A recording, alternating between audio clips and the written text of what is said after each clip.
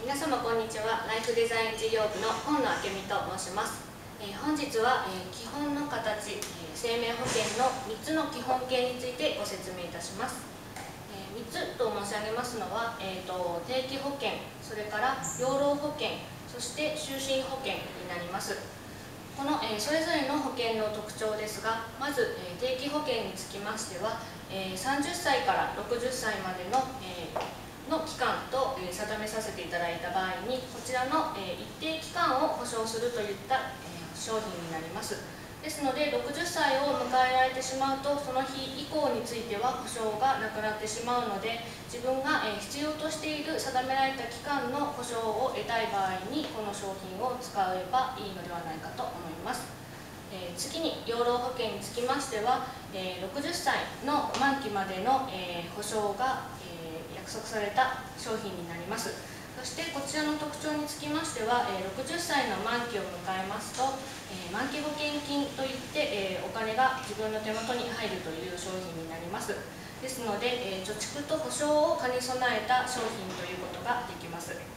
最後に、え就寝保険につきましてはこちらは、え60歳以降も、え生涯の保証がつきますので一生涯の保証を、え得るような商品になります。では、えー、と保険金額に対して保証額の方は、えーそれぞれどう違うかということで、えー仮定させていただいておりますのが30歳の方が、えー60歳までの30年間毎月3万円の生命保険料を支払うと仮定しますと、えー3万円かける12ヶ月そしてそれかける30年ですので合計の、えー生命保険料の支払いは1080万円になります、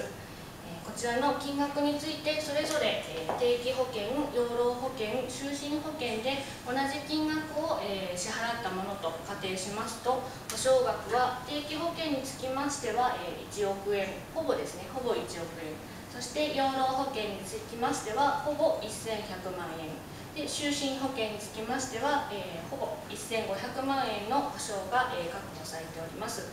養老保険につきましては満期保険金という形でこの1100万円がこちらで、手にすることができるといったものですね。えですのであの保証額ご自身の、えライフプランにあった保証額は一体どのくらいなのかということを先に、え計算しましてでこの保証額について自分に合った、え保険を保険商品を選ぶということも大切なのではないかと思います。本日は、えー保険の3つの基本形についてお伝えさせていただきました。ありがとうございました。